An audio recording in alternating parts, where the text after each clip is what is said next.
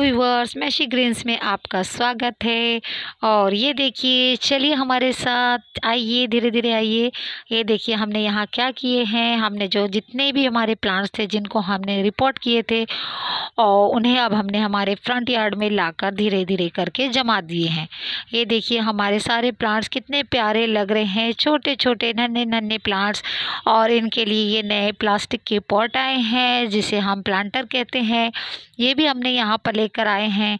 ये एक नई शुरुआत है। पिछली बार हमारे जो प्लांट्स का जो हश्र हुआ, जितनी बर्बादी हुई प्लांट की, वो मैंने पिछली वीडियो में आपके साथ शेयर की हूँ, लेकिन मैंने हिम्मत नहीं हारी। अगर आपके भी प्लांट्स कोई कुछ सूख गए हो या आपका गार्डन टोटल स्पॉइल हो गया हो तो आपको हिम्मत हारने की ज़रूरत नहीं है। फिर से उठ खड़े हुए हो जाइए और फिर हमारे नए प्लांट्स लगाइए और फिर उन्हें हमें रिवाइव कीजिए। है ना? ये देखिए, यहाँ मैंने फिर से प्लांट लगाई हूँ, उसमें मेरे पास ये विद्या का है, उसके बाद छोटा सा अनार का है, उसके बाद सीताफल का है, उसके बाद ये चीकू का है।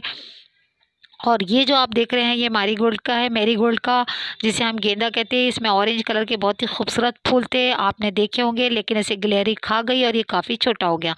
लेकिन अब मैंने ऊपर लेकर आ गई हूँ। यहाँ ग्लेरी की ऐसी कोई प्रॉब्लम नहीं है। और ये देखिए रजनीगंधा का है, उसके बाजू मनी प्लांट का, सॉन्ग ऑफ़ इंडिया का भी है यहाँ। प्लांट, सब छोटे छोटे प्लांट है और एक साइड में मेरा जाई का है। और ये जो है, दो छोटे छोटे टाइम प्लांट है। जो जिसे टेन कहते हैं, ये ऑरेंज और रेड कलर के हैं। पिंक कलर के, डार्क पिंक कलर के, उसके बाद ये मेरा एक्जोरा का है। एक्जोरा में अभी काफ़ी बाहर आई हुई है इस प्लेस में।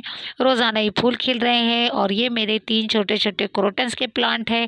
जब मैं इसकी वीडियो शेयर करूँगी तभी से आपको इसका डिटेल, नेम्स और इसकी how to gear and grow and care वो सब शेयर करूँगी। उसके बाद ये छोटा सा मेरा एलोवेरा का है, उसके बाजू लेमन का, और फिर ये जाड़े का प्लांट है, और फिर ये सबसे लास्ट में मेरा कृष्णा तुलसी का भी प्लांट रखा हुआ है। तो बस फ्रेंड्स ये इतना ही छोटा सा भी गार्डन स्टार्ट की हूँ। आप लोगों का सपोर्ट मिला तो इसमें हम बहुत अच्छा अच्छा ग्रोथ करेंगे और इन्हीं छोटे से प्लांट्स को हम एक दिन बहुत बड़ा प्लांट करके बताएँगे।